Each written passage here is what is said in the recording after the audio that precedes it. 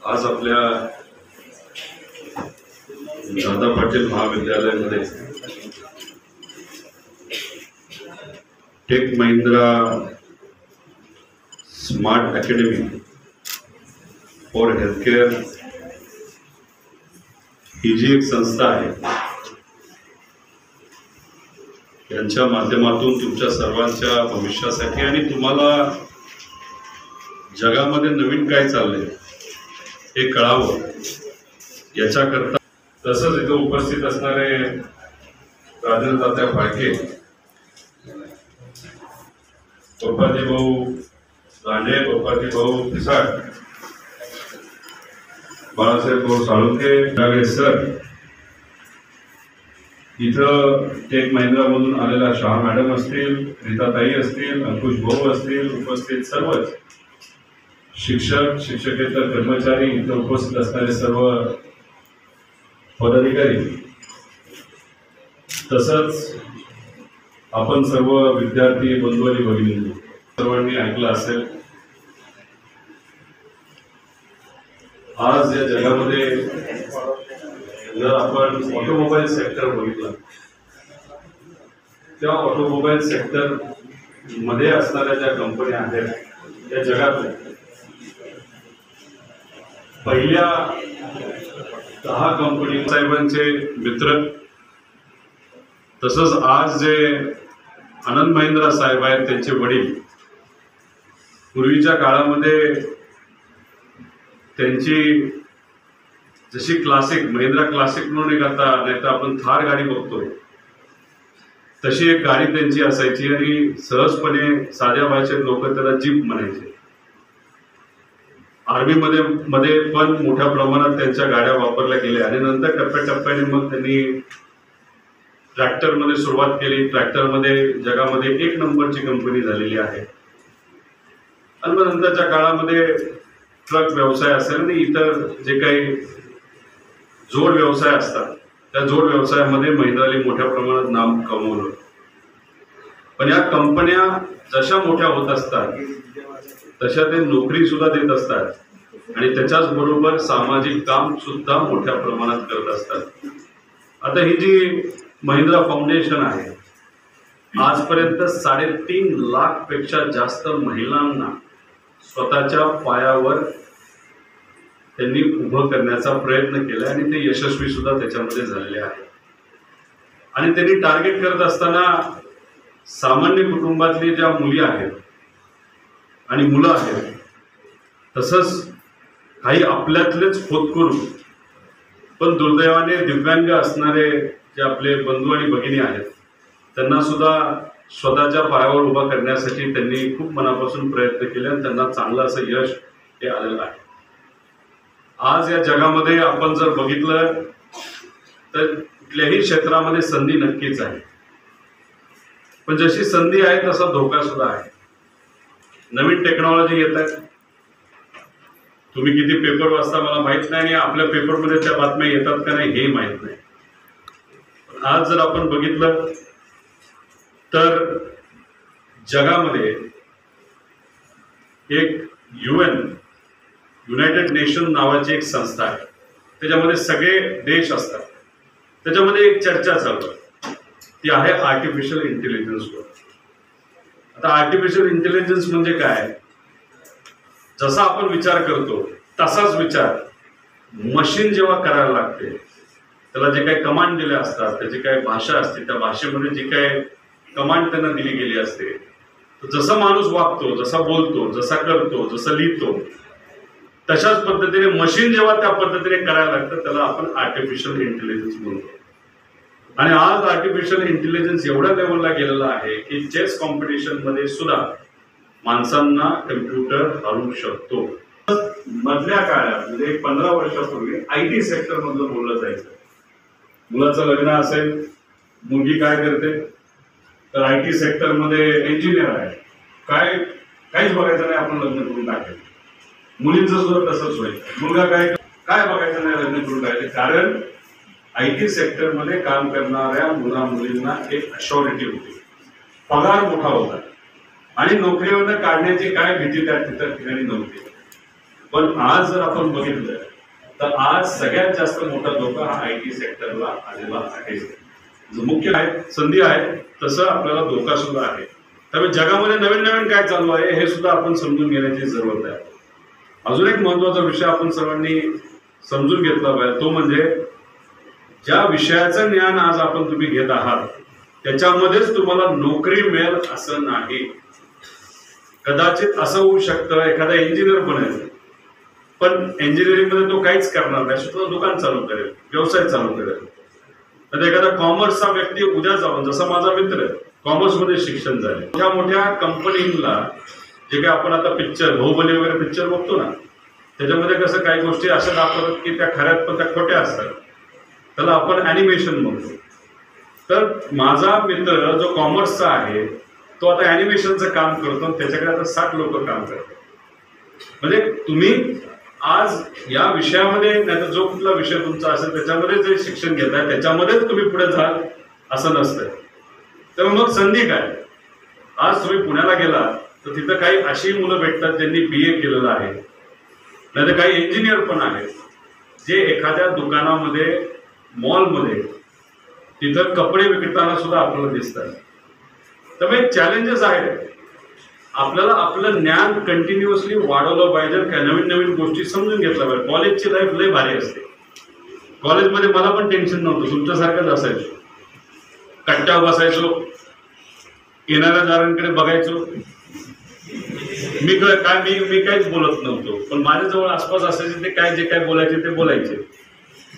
पण ह्याच्यामध्ये कॉलेजचा काळ कसा गेला हे आपल्याला कळलं नाही पण कॉलेजचा काळ हा सोपा काळ आहे. कारण का आई वडील कष्ट करतात शेतात जातात कोण कुठं तरी छोटा मोठा व्यवसाय करतात कुठल्या तरी कंपनीमध्ये नोकरी करतात आणि मग आपलं जी काही फी असते ते भरतात आणि त्याच्यामध्ये आपण अभ्यास करत असतो. अभ्यास करताना शाळेत यायचं कॉलेजमध्ये यायचं फॅन खाली बसायचं एसी पण दिसतो इथं एसीमध्ये बसायचं. तुमच्या तरी चालतो का नाही मला माहीत नाही पण फॅन तरी चालतो असं समजू. आणि मग तिथं आपलं डिग्री घेतलं की विषय संपला. डिग्री घेतली म्हणजे तुम्हाला नोकरी मिळाली. असं जर तुम्ही समजत असाल तर ते चुकीचं आहे. मग याला पर्याय काय? काही मुलं पुण्यामध्ये स्पर्धा परीक्षा देत असतात. पण नुसताच अभ्यास करतात असं नाही. कारण त्या काही अतिशय अडचणीच्या आर्थिक अडचणीच्या कुटुंबातून काही स्वतःची फी देण्यासाठी काम करावं लागतं. मग ते काय काम करायचं? तर मग कुणीतरी कुठंतरी एखाद्या दुकानामध्ये अटेंडंट म्हणून काम करतं कुणी पेट्रोल पंपाच्या इथं काम करतं काही लोक रिक्षा चालवतात कुठे काय जे काय जमतं ते त्या ठिकाणी ते करत असतात. आणि मग साईड बाय साईड रात्रीच्या वेळेस अभ्यास करून मग जे काय स्वप्न आई वडिलांनी आणि तुम्ही सर्वांनी बघितलं असतं ते पूर्ण करण्याचा प्रामाणिकपणे प्रयत्न करत असतात. मग याच्यामध्ये अजून काय संधी आहेत का? हे जर आपल्याला बघायचं असेल तर याच्यामध्ये हेल्थकेअर सेक्टरमध्ये खूप मोठी संधी आहे. आज जर आपण बघितलं तर आय टी सेक्टरमध्ये अडचणी येऊ शकतात पण त्याच्यामध्ये तुम्ही नवीन टेक्नॉलॉजी जर समजून घेतलं तर तुम्हालाही अडचण येणार नाही. पण अभ्यासात जे शिकवलं जातं त्याच्या पलीकडे जाऊन सुद्धा काही गोष्टी आपल्याला शिकाव्या लागतात. पण याच्याच बरोबर एक असं सेक्टर आहे ज्याला आपण हेल्थकेअर सेक्टर म्हणतो ज्याला मरण नाही. त्याचं मुख्य कारण की ज्या पद्धतीने आपण जगतो आपली जी लाईफस्टाईल झालेली आहे त्याच्यामध्ये कमी वयातल्या मुलांना आता हार्ट अटॅक यायला लागले. काहींना बीपी वा चालू झालाय माझा अजून काही चालू झालेला नाही फक्त केस पिकलेत पण पुढच्या इलेक्शन पर्यंत कधी बीपी चालू होऊन जाईल? म्हणजे आपल्या वयातल्या मुला मुलींना अनेक अशा काही गोष्टी सुरू झालेल्या आहेत आरोग्याच्या ज्या कदाचित साठ वयानंतर चालू व्हायला पाहिजे होत्या. तर आपली लाईफस्टाईलच तशी झाली टीव्ही समोर बसतो कम्प्युटर समोर बसतो अभ्यास करतो घरीच असतो. आणि मग ही जी लाईफस्टाईल आहे याच्यामुळे आरोग्याच्या अडचणी खूप मोठ्या प्रमाणात वाढत चालल्या त्याच्याच बरोबर पूर्वी जर तुम्ही बघितलं तर अनेक लोकांकडे खर्च करण्यासाठी पैसे नव्हते पण आता काही प्रमाणात पैसे आले. आणि पैसे आल्यामुळे मग लोक ज्या काही छोट्या मोठ्या टेस्ट असतात त्या टेस्ट सहजपणे करून जातात. अखे फुल बॉडी टेस्ट असेल तर जे काही इतर टेस्ट असतात. महिलांच्या बाबतीत मी कर्ज जामखेडमध्ये कॅम्प घेतला. जेव्हा मॅम मैंने कॅम्प लिया था. वहाँ पे कैंसर के पेशेंट हमने ढूंढ के निकाले थे। बड़ा क्या था? साढ़े पाँच सौ पेशेंट निकले। साढ़े पाँच सौ में से सिर्फ़ तीस लोगों ने ट्रीटमेंट दिया। पाँच सौ बीस लोग बोले, हमको मालूम है हमको कैंसर है। घर वालों को मत बताओ। हमको ट्रीटमेंट भी नहीं लेनी क्योंकि लोगों को अगर पता चल गया मुझे कैंसर है तो क्या होगा? लेकिन कैंसर फ़र्स्ट स्टेज में अगर लकीली आपको पता चलता है तो सेकेंड स्टेज तक आप जाओगे नहीं आप फर्स्ट स्टेज पे ही आपका सब जो विषय आहे कॅन्सरचा ते सगळे संपतील. पण थर्ड स्टेजला कॅन्सर काय आला की विषयच संपतो. आज अवेअरनेस वाढतोय म्हणून मग त्या महिला आता काय म्हणतात की नाही आम्हाला ट्रीटमेंट घ्यायची त्यामुळे मेडिकल सेक्टरमध्ये स्कोप जास्त आहे. आज जर आपण बघितलं किडनी किडनीचे रोग याच वयात वाढायला लागले त्याच्यामध्ये डायलिसिस आताच सुरू व्हायला लागले. त्यामुळे जशा अडचणी आहेत त्या अडचणी येऊ नये यासाठी आपण प्रयत्न करू. पण ज्या अडचणी आहेत त्याच्यामध्ये तुम्हाला जर नोकरीची काय एखादी संधी असेल त्या संधी काय हे आज तुम्हाला टेक महिंद्राच्या माध्यमातून इथं हे सर्व जे वक्ते ते सांगतील. माझं एवढंच तुम्हाला मत आहे की थोडासा पेशन्स ठेवा. जे काय सांगतात ते ऐका. आणि शेवटी एवढी मोठी माणसं इथं तुम्हाला चर्चा करण्यासाठी कुठंतरी आमच्या ओळखी असतात. सरांच्या ओळखी असतात पदाधिकाऱ्यांच्या ओळखी असतात साहेबांच्या ओळखी असतात. आणि मग त्या ओळखीचा वापर हा आम्ही आमच्यासाठी न करता तुम्हाला त्याचा फायदा होऊ व्हायला पाहिजे. म्हणून अशा कंपनी इथे येऊन तुम्हाला मार्गदर्शन करत असतात. नाहीतर पुण्या मुंबईमध्ये आज त्यांना वेळ पुरत नाही. पुण्यामध्ये नुसतं एखाद्या कॉलेजमध्ये गेलं की दुसऱ्या दिवशी त्यांचा जो क्लास असतो तो फुल होऊन जातो. मग या भागात याचं कारण काय? आम्ही त्यांना विनंती केली. मी त्या माझ्यासाठी विनंती नाही केली की तुमच्या सर्वांच्या वतीने त्यांना विनंती केली की आपण या आणि आज आमच्या मुला मुलींना सांगा की संधी काय काय आहे. पूर्वी नर्सेस आपण ऐकायचो आता बेड साईड असिस्टंट म्हणून एक नवीन कॉन्सेप्ट आहे एखादी वयस्कर महिला असेल आजी आजोबा असतील तर आजारी असतील तर तिथे एक अटेंडंट असते. ती अटेंडंट तिथे नुसते ते औषधं देणं असेल त्यांना मदत करणं असेल त्या अटेंडंटला आज अठरा ते वीस हजार पगार असतो. एखाद्या इंजिनियरला सुद्धा आज पगार मिळतो अशी परिस्थिती आहे.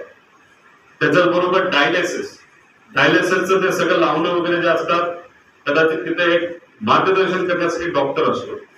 पण आता नवीन कॉन्सेप्ट आला डायलिसिस अटेंडंट बारामतीला तुम्ही जर गेला तर महिला रुग्णालयामध्ये तिथं काही आपण आता नवीन डायलिसिस मशीन ठेवलेलं आहे. तिथं कर्जतला सुद्धा लवकरच म्हणजे आता बिल्डिंगचं काम सुरू आहे पन्नास कोटीचं ते संपलं. तिथं सुद्धा आपण डायलिसिस मशीन घेतो. त्याने आपली लोक पुण्याला जातात. नगरला झाला इथलं इथं त्यांना डायलिसिस मिळाला पण तो डायलिसिस अटेंडंट जर आज आपण झाला छोटासा कोर्स आहे ते कोर्स हेच करतील. की लगेचच तुम्हाला दुसऱ्या दिवशी तिथं अठरा ते वीस हजार पगार हा चालू होतो. त्याच्याच बरोबर इतरही काही विविध विषय आहेत ते विषय तुम्ही समजून घ्या. त्याच्यामध्ये तुम्हाला काही काही असे विषय ते बोलायला सुद्धा अवघड आहेत. ते मॅडम तुम्हाला सांगतील. मेडिकल लॅबोरेटरी टेक्नॉलॉजी आहे आता तुम्ही तुमची लॅब जर तुम्हाला चालू करायची तुम्ही कर्जाचा लॅब चालू करू शकता. त्याबाबतीत तुम्हाला थोडंसं ट्रेनिंग लागतं. मित्रमैत्रिणी एकत्रित येऊन तुम्ही लॅब जर चालू केली तुमचा व्यवसाय इथं चालू होऊ शकतो. त्यामुळे जे जे काही इथं शिकवलं जात आहे ते थोडं मनापासून तुम्ही समजून घ्या. याच्यामध्ये खूप मोठ्या प्रमाणात संधी आहे. काही कोर्सेस ग्रॅज्युएशन झालेल्या मुलांसाठी आहेत. काही कोर्सेस पोस्ट ग्रॅज्युएशन झालेल्या मुला मुलींसाठी आहेत.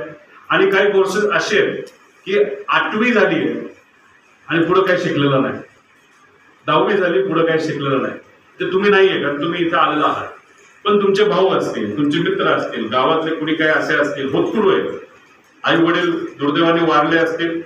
मुलाला काय करायचं माहीत नसेल. मग त्याने शिक्षण सोडून दिलं. अशा लोकांना तुम्ही ओळखत असाल. तर मॅडमला तुम्ही सांगा की बाबा ना माझ्याकडे असा एक होतकरू मुलगा एक मुलगी आहे. की जे होतकुरू आहेत. जर तुम्ही त्यांना जर ट्रेनिंग देऊ शकला त्या ट्रेनिंगची जबाबदारी आम्ही घेऊ. एक तर इथं कुठेही खर्च नाही येणार. हाँ स्कॉलरशिप आप दे ठीक आहे स्कॉलरशिप पे आप दे दो. आणि आमदारांना पगार असतो. तुम्हाला माहिती आहे का? आमदाराला पगार असतो. एक दीड लाख रुपये पगार असतो.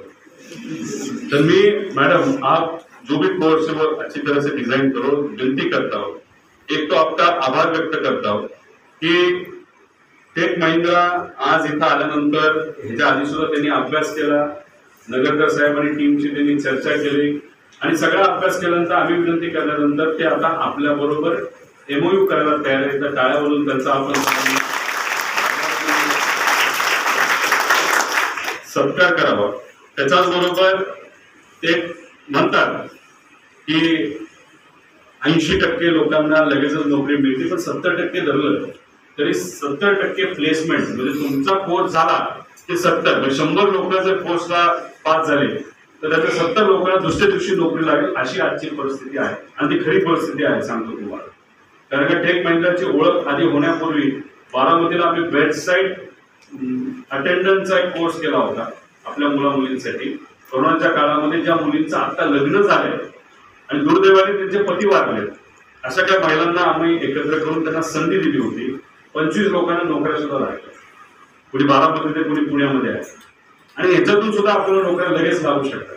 ती नोकरी लागली ना मग आपल्या काम करा. पैसे गोळा करा.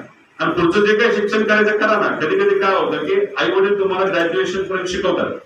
पण नंतर त्यांचं किती मनात असलं तरी पैसे कमी पडतात आणि मग त्यांना शिकवता येत नाही. मग त्यावेळेस तुम्ही पुढाकार घेऊ शकता. असे कोर्सेस करून. की नको आता मी पुढचं मी माझी जबाबदारी मग ते अठरा हजार पंधरा हजार जे काय तुम्ही कमवाल त्याच्या पुढं जे काय शिक्षण आहे ते तुम्ही तुमच्या हिमतीवर तुमच्या कर्तृत्वावर करा. शेवटी आमचा काय प्रयत्न तुमच्या एक व्यक्तीला तरी स्वतःच्या आयुष्यामध्ये मोठं होण्याची संधी मिळाली आणि त्यात आमचं फुल नाही तर फुलाची पाकळी म्हणून एक वाटा आहे तर आम्हाला अभिमान आहे. कारण शेवटी तुम्ही मोठं झाला तरच कर्ज जामखेडचं नाव मोठं होणार एका व्यक्तीमुळे कधीच होत नसतं. तुम्हाला ताकद देण्यासाठी आम्ही सर्वजण काम करतोय. म्हणून हा एमओयू जो होतोय त्या एमओयूला मॅडमला मला सांगायचं की आमचा जो पगार आहे आतापर्यंत मी आरोग्यासाठी वापरला आम्ही काही आध्यात्मिक एक ठिकाणी ते डेव्हलप करण्यासाठी वापरला. तो संपूर्ण पगार आपकी जो स्कॉलरशिप है वो स्कॉलरशिप का जो भी फ़र्क आएगा क्योंकि इसमें से बहुत जन को आप पुनः लेके जाओगे. एक तो जो भी कोर्स आप यहाँ पे ले सकते हो, वो यहाँ पे लो. और जो कोर्स आपको वहाँ पे लेके जाके करना है, क्योंकि वहाँ पे आपने पाँच पाँच दस दस करोड़ का लैब किया है तो यहाँ पे तो वो लैब नहीं हो सकता. तो वहाँ पे जाके जिनको कोर्स करना है, उनको वहाँ पे एडिशनल खर्चा न आने के लिए जो फर्क है वो मेरे पगार से मैं उन सबको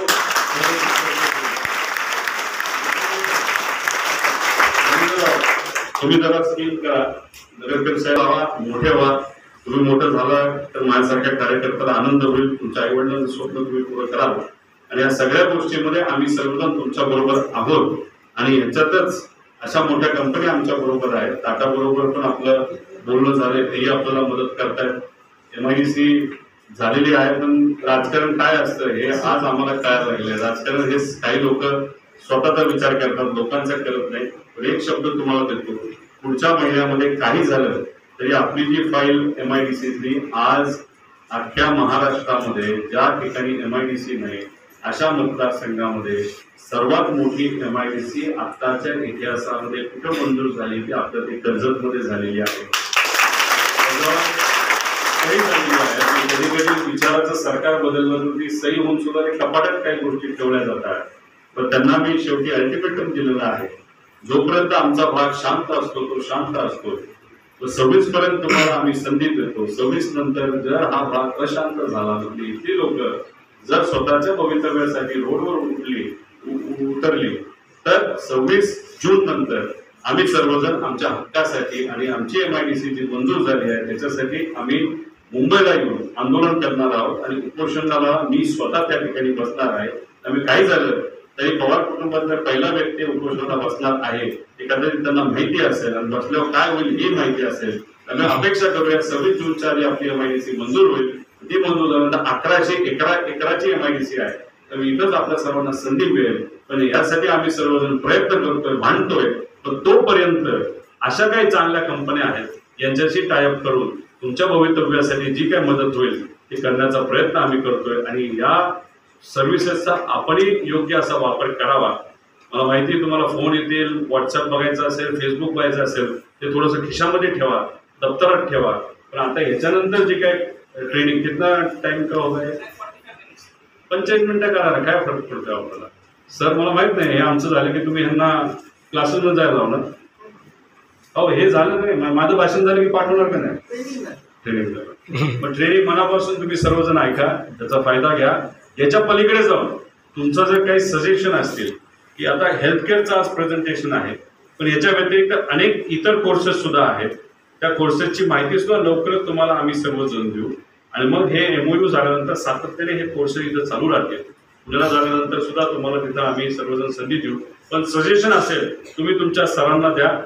आणि ते माझ्याकडे आल्यानंतर त्याच्यामध्ये बदल करून आपण नक्कीच एक योग्य अशी योजना येत्या काळामध्ये आणू. एवढंच इथं सांगतो मी परत एकदा महिंद्रा टेक त्यांची टीम यांचा आभार व्यक्त करतो की पुण्यासारख्या मुंबईसारख्या ठिकाणी आपल्याला एवढी मोठी संधी असताना सुद्धा आमच्या या दादा पाटील महाविद्यालयामध्ये इथे असलेल्या भूतपूर्व मुलांना संधी देण्यासाठी तुम्ही इथे आलात. आणि योगायोगाने मॅम सिक्स्टी इयर हमारा दादा पाटील का चल रहा है. यहाँ पे ये इंस्टीट्यूट यहाँ पे नहीं होती। तो जो लोग 75,000 से ज़्यादा लोग यहाँ पे ग्रेजुएट होके बाहर निकले। अगर नहीं होती तो उनका क्या होता क्या मालूम। इसलिए इस इंस्टीट्यूट को बहुत बड़ा इतिहास है बहुत बड़ी ताकत है और कर्मवीर भावराव अन्ना के विचार से ये चलती है। और यहाँ पे अगर आपका टाइप आने के बाद कर्मवीर भावराव अन्ना का यही विचार था कि जो सामान्य कुटुंब से लोग हैं, उनको संधि देनी चाहिए। वो संधि देने के लिए हम प्रयत्न तो कर ही रहे तो हमारे प्रयत्नों को आपने ताकत दी। इसलिए आपको, आपके मैनेजमेंट को, सबको मैं आभार व्यक्त करता हूँ। तुम्हें सर्वजण याचा लाभ घ्याल अशी अपेक्षा करतो थांबतो. जय हिंद, जय महाराज